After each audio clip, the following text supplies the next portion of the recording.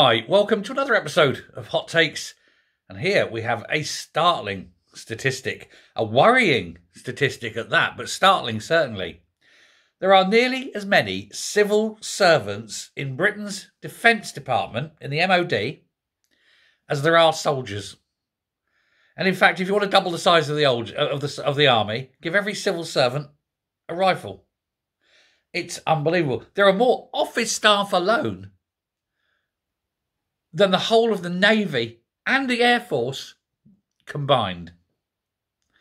Now, when two million Soviet soldiers hove into view across the channel, ready to launch into Britain, I'm not saying it's going to happen, but if it did, we would last precisely seven minutes.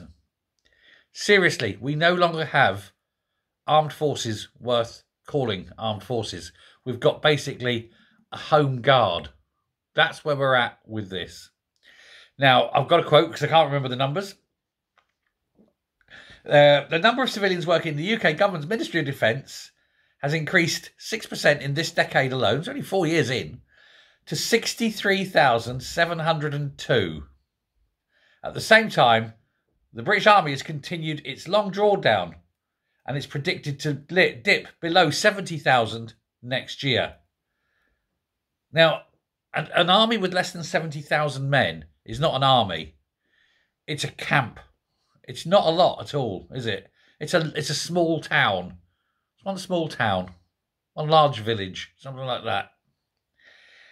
Um, the Royal Navy, remarkably for an island nation, we are, has just 28,840 sailors. We used to have the biggest navy in the world. And in fact, our navy at one point in history was not just the biggest navy in the world, it was bigger than the next two navies combined. Now look at us. Pathetic. The Royal Air Force stood at 28,420, meaning combined, those two forces number just 57,260. Thousands fewer than the number of civil servants. 20,000 fewer than the civil servants. 10,000 fewer. Can't count. 10,000 fewer than the civil servants. It's a joke. Who's defending our borders? Not us. Now, the only good thing is when Russia does invade, they've had to have gone through Poland, Germany, the Flatlands, and a bit of France to get to us. And hopefully they, particularly the Polish, will have slowed them down a little bit not enough to stop them, of course, but it'll give us, you know, a couple of days to learn Russian.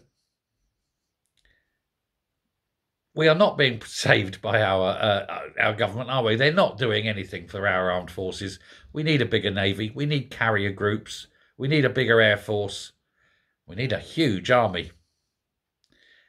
Ho hum. These problems are meant to uh, to test us, aren't they? Let me know what you think. Thanks a lot. Goodbye.